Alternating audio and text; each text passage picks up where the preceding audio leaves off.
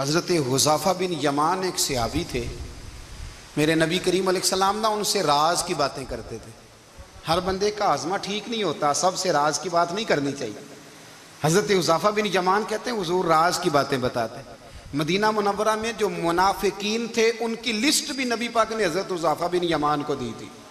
जब कोई मशकूक आदमी मर जाता ना तो सियाबा कहते हम देखते अगर हज़रत हुजाफ़ा ने जनाजा पढ़ा है तो हम भी जनाजा पढ़ लेते नबी पाक ने भी कुछ जनाजे नहीं पढ़े। तिरमिजी में है। फरमाया, उस्मान से जो बुग्ध रखे, उसका जनाजा नहीं पढ़ेंगे। हज़रत हुजाफ़ा बिन यमान अगर जनाजा पढ़ते तो लोग पढ़ते, वो ना पढ़ते तो लोग जनाजा ना पढ़ते। हज़रत हुजाफ़ा बिन यमान कहते हैं, जनाब उमर फारूक की खिलाफत के आखिरी अयाम थे। कुछ दिनों के बाद वो शहीद हो गए। फरमाते आधी रात का वक्त था, मैं घर में सोया था, बड़ा बेफिक्र। अचानक मेरे दरवाजे पर दस्तक हुई। मैं घबरा के उठा। इतनी रात को कौन आया? कहते कुर्बान जाऊँ, दरवाजे पे गया तो अमीरुल मोमिनीन, फारूक आज़म दरवाजे पे। मैंने कहा, उमर, कोई हुक्म था तो मुझे बुला लेते। कहने लगे, मैं ना अमीर बन के नहीं आया, तेरा वीर बन के आया हूँ।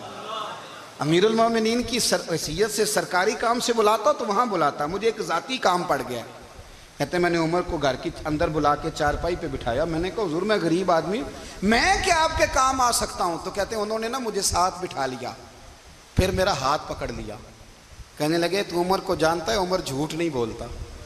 तू जानता है, उमर वादों का पक्का है। कहा, हजूर, जानता हूँ। कहा, मैं उस वक्त आया हूँ, जब देख भी कोई नहीं रहा।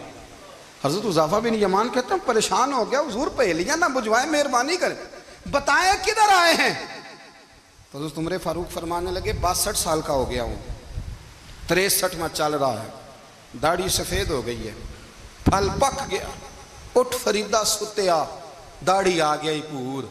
अग्गा नेड़े आ गया। पिछा रह गया। दूर। अब ना, अब कबर अशर का मामला साफ़ नज़र आने लगा है। कहा, हजूर, मुझसे क्या चाहते हैं? हज़रत उमर रो पड़े। कहने लगे आज मैं ईशा के बाद निकला हूँ तो नबी पाक के सहाबा मुझे नेक कह रहे थे।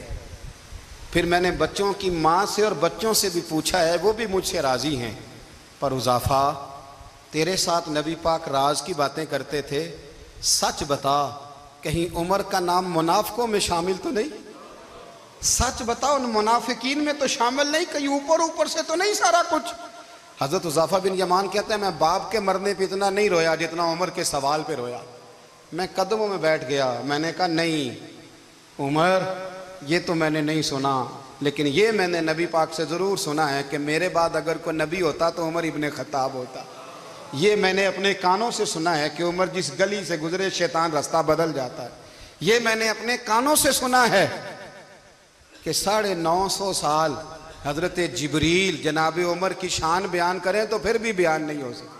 ये मैंने ज़रूर सुना। दोस्तों, सारी ज़िंदगी हज़रत उमर ने अगर दूसरों का मुआसबा किया तो अपना और अपने बच्चों का भी कड़ा ख्याल रखा। अपनी ज़ात पर बड़ी तवज्जो दी। जो लोग अपना भूल जाते ना, हमें अपनी सेहत का बड़ा ख्याल है।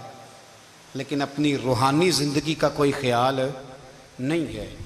कल भी ज़िंदगी का कोई तस्वुर नहीं है। आप यकीन करें, मोटा आदमी कमज़ोर होने के लिए जद्दोजहद कर रहा है, कमज़ोर, ताकतवर होने के लिए। लेकिन जिसको कितने दिन बीत गए, अल्लाह रसूल की याद में रोया ही नहीं। कितने दिन बीत गए, ना सुनने को दिल ही नहीं चाहा।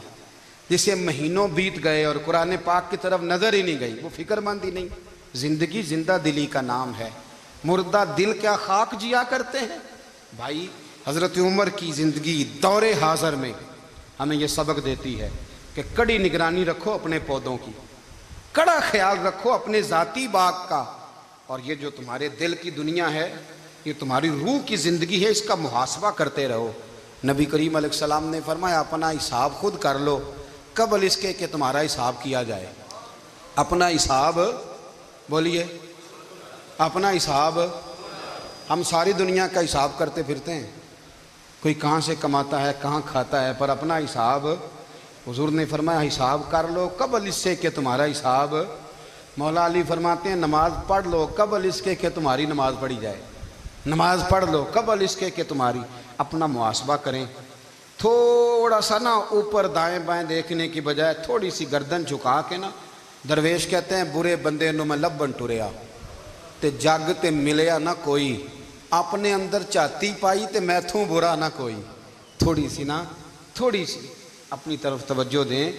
हम ना बेचैन वक्त गुजार रहे हैं, बेकरार हैं, बेसुकून हैं। सबब ये है कि हमने ना अपना हिसाब करना छोड़ दिया है। हिसाब करोगे, बेहिसाब तो बंदा रोटी खा ले तो बीमार हो जाता है। और अगर ज़िंदगी बेहिसाब गुजरे, गुनाहों के का हिसाब ही ना किया जाए, तकवे की तरफ़ तवज्जो ही ना की जाए तो फिर ज़िंदगी दुशवार हो जाती है। और अल्लाह पूरी उम्मत मुसलिमा को एक हज़रत उमर फ़ारूक रदी अल्लाह तु के तरीके पर चलने वाला लीडर अता फरमा। हमेशा मिदहत खैरुल्ला नाम में गुजरे। दुआ है ये उमर दरूद।